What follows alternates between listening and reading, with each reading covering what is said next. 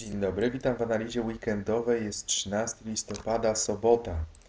Jak widzimy, indeks S&P nie tylko y, rozpędził się troszeczkę do ostatniego wsparcia oporu ze swoją korektą, natomiast y, wczoraj, y, w piątek, w analizie wspominałem, że to może być moment, gdzie indeks się odbije. Rzeczywiście popyt został jakiś wykazany, mógł to być dalszy piękny wzrost, ale tak się nie stało. Dlatego sam sygnał w sobie odbicia od jakiegoś wsparcia oporu, wspominam o tym na kursach, nie jest tak naprawdę kluczową sprawą, bo kurs może się odbić e, agresywnie, ale dopiero w którymś charakterystycznym momencie zyskujemy, e, zyskujemy odpowiednie prawdopodobieństwo, że kurs zacznie dalej tutaj wzrastać. I w tym wypadku to było e, duże prawdopodobieństwo, że kurs dalej będzie rósł, jeżeli ta świeca rzeczywiście byłaby większa tego typu, co najmniej do tych wsparć oporów. Druga sprawa, żeby te wsparcie opory, które teraz zaznaczę, o, z tego momentu nastąpiło wybicie, czyli z poziomu 1212,87 i 1215,20. Tu jakbyśmy agresywnie wybili się ponad te poziomy, czyli ponad te ostatnie minima tej świecy, moglibyśmy spodziewać się tego, że będzie agresywny dalszy wzrost i wtedy opłacałoby się wchodzić w rynek. Natomiast rynek dał tylko y, malutki sygnał, że po tym y, cieniu jeszcze rośnie y, i no, do niczego to nie prowadziło i nie było sygnałem w samym sobie. Że jeżeli ktoś wchodził za szybko w rynek, no to spotkała go zasłużona niespodzianka. I e, tutaj na razie indeks wskazuje na to, że e, od, odchodzi od tych poziomów wysokich i będzie prawdopodobnie jeszcze raz spadał w dół. Zobaczymy na jak długo. Natomiast patrząc na wykresie dziennym, mieliśmy jakiś spory odcinek, e, spory odcinek wzrostu i być może właśnie następuje korekta dłuższa, to znaczy może nastąpić większe obsunięcie. Raz, że mieliśmy duży odcinek do góry wzrostowy, czysto wzrostowy. Dwa, że proszę zobaczyć, minęliśmy ostatni szczyt i to w jakim wydaniu? Słabym, bo zatrzymaliśmy się na kolejnym ważnym jakimś poziomie, niewiele ponad te szczyty, wykroczył kurs i zrobił double top, czyli podwójny szczyt. E, i stąd to obsunięcie. Także mogłoby być to typowe fałszywe wybicie ponad y, poziom wzrostu y, ostatniego szczytu y, i mógłby być to spadek, mógłby być to nawet większy spadek. Zobaczymy w praktyce. Tak naprawdę trzeba szukać momentu, kiedy ten spadek na wykresie 4-godzinnym zrobi tak jak coś tutaj, czyli ścieniuje charakterystyczny poziom, na przykład kolejne te wsparcie opór i ruszy agresywnie do góry. Wtedy trzeba szukać e, konkretnego wejścia w rynek. Natomiast sam cień w sobie nie jest stuprocentowym sygnałem, także e, w tym momencie przykładowo ten cień raz, że był za mały, dwa, że no, nie wytworzył dalej sygnału popierającego e, teorię odejścia tutaj wraz z popytem. Popyt nie nastąpił agresywny. Proszę zobaczyć, że przykładowo z tej świecy jedna pojedyncza świeca, która mówi nam o tym, że jest cień, odejście, możemy zrobić sobie przybliżenie. E, I tutaj analizowaliśmy transakcje również, ponieważ odejście dało nam od razu samo w sobie popyt w jednej świecy. Mamy małą kontynuację i tutaj ten motyw był kluczowy. Ta kontynuacja i dalszy popyt. Tu było wejście w rynek, z tego co pamiętam, to była e, idealna sytuacja popytu w związku z odejściem strategii 4-godzinnej, e, którą omawiam w zakładce strategie. Fund z tego co widzę również zatrzymał się na danych poziomach, wręcz zrobił potrójny szczyt i mógłby agresywnie spadać, gdyby to były godziny poranne czy południowe w normalny dzień, pewnie agresywnie by się obsunął. Z racji tego, że rynek przetrawi pewne dane, y, położenie tego kursu i fundamenty w weekend, to, to może różnie się zachować ten kurs. Także po weekendzie trudno tak naprawdę powiedzieć. I yy, jeżeli chodzi o euro, e, tak jak wspominałem w piątek, kolejne minima zostały osiągnięte. E, tutaj aktualnie tworzą się korekty wzrostowe, po których e, trzeba czy wypada inwestować spadki, jak już jak ktoś musi na tym instrumencie w tym momencie wykonywać transakcje, to są to transakcje oczywiście, które grają na spadki.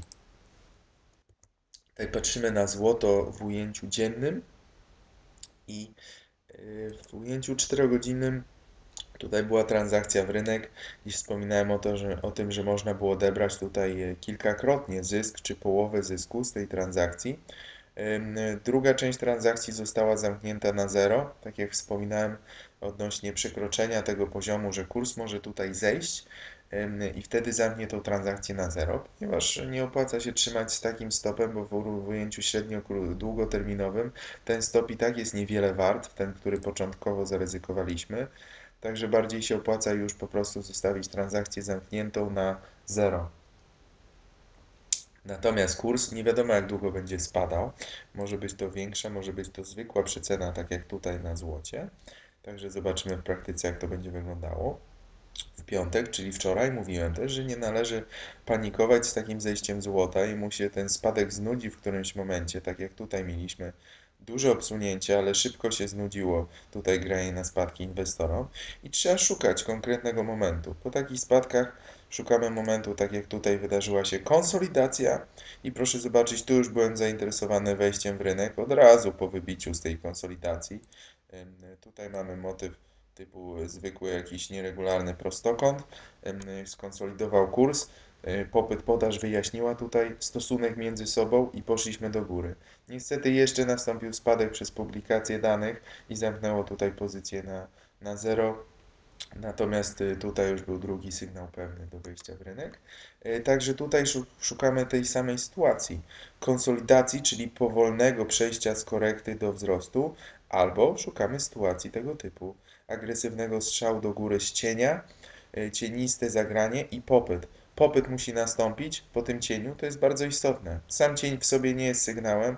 Tutaj mamy przykładowo podwójny cień i sytuację, gdzie się rozwijał popyt, ale był zbyt marny. Wspominam o tym, że świece muszą być agresywne. Tutaj były przykładowo dwie zwykłe zielone świece, ale mieliśmy coś pięknego, co jest kontynuacją. Na wykresie godzinnym byłyby to cztery świece kontynuacyjne w pięknym prostokącie. Y, także mamy coś w rodzaju y, pięknego mikro prostokąta. A teraz tutaj nie znajdę tego na wykresie, ale to było gdzieś, y, gdzieś tutaj, prawda? Y, I mamy mikrokontynuację i dalszy wzrost, agresywne wybicie. Jedna świeca i, i druga agresywnie tutaj wolatylność szła do góry na danych poziomach, dlatego było wejście w rynek.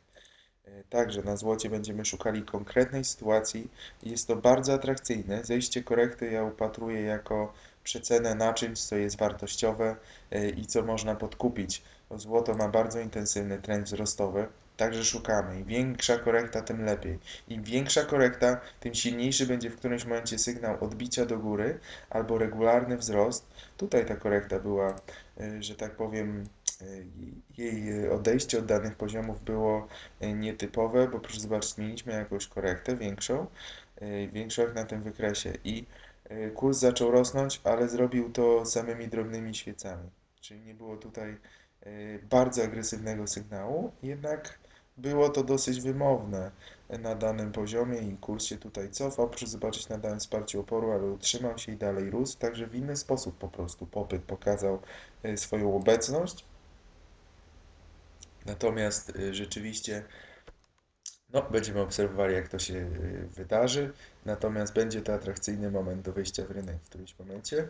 Jestem ciekawy, jak tym razem złoto to zrobi, w jaki sposób pokaże, y, że już skończyły się spadki i zaczęły się wzrosty. To jest bardzo interesująca zabawa. Tak naprawdę na surowcach nastąpiła korekta również na, na ropie. Proszę zwrócić uwagę, ten sam motyw, to samo zagranie, to wszystko wydaje mi się podąża w tym momencie za indeksami czyli spadkiem sentymentu chwilowym na indeksie. US 30 też wykonał taką obniżkę, ale to jest tak naprawdę półsymetryczna korekta. Przynajmniej, na tym indeksie tak to wygląda. Także zobaczymy, jak rynek otworzy się w niedzielę, a raczej właściwie w poniedziałek rano, czyli po indeksach. Jest takie kluczowe zagranie. Dziękuję bardzo za uwagę. Zapraszam na, na pozostałe analizy. Być może zamieszczę również w weekend, to znaczy teraz dzień dzisiejszy czy jutrzejszy 14 listopada e, przykłady trade'ów z ostatnich dni, bo na to nie było akurat czasu e, w ostatnim momencie. Także dziękuję bardzo za uwagę. Zapraszam na pozostałe analizy i szkolenia online. Dziękuję.